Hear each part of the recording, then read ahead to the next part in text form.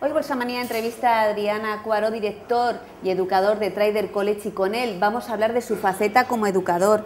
¿Cuáles son las claves para no dejarnos llevar por el pánico, para, para hacer lo mejor posible toda la operativa de trading?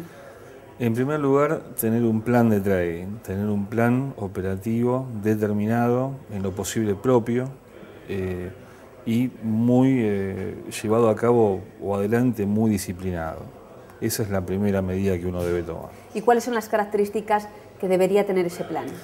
El plan debe incluir elementos eh, que a uno le queden cómodos, puede ser análisis de fundamentales que no son fáciles de interpretar en el corto plazo, sobre todo en un mercado como el de divisas que es muy cortoplacista, pero existen distintos planes basados en análisis técnico, en indicadores y análisis de gráficos.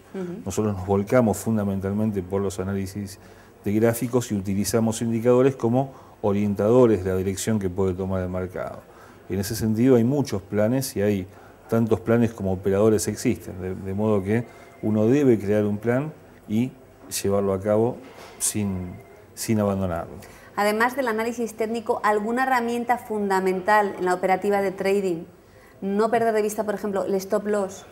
No, por supuesto, siempre utilizar un stop loss, es decir, dejar que eh, las ganancias se alarguen lo máximo posible, pero siempre manejando los tiempos. Hay un análisis o un elemento que es eh, básico, que es el manejo del tiempo en el mercado más allá del stop loss, más allá del límite de ganancias que uno ponga, siempre se debe tener en cuenta el tiempo. Cuanto más tiempo eh, uno permanece dentro del mercado, más imprevisible se torna el mercado. Con lo cual, bajar el nivel de apalancamiento, eh, bajar la exposición al mercado y bajar el tiempo es muy importante para manejar la estrategia, para estar tranquilos y para que no nos lleve la ansiedad.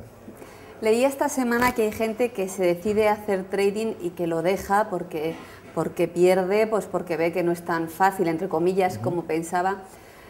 Denos para terminar algún consejo para aquellas personas que se desilusionan y lo dejan porque, porque no se ven capaces. Bueno, como toda actividad requiere una capacitación.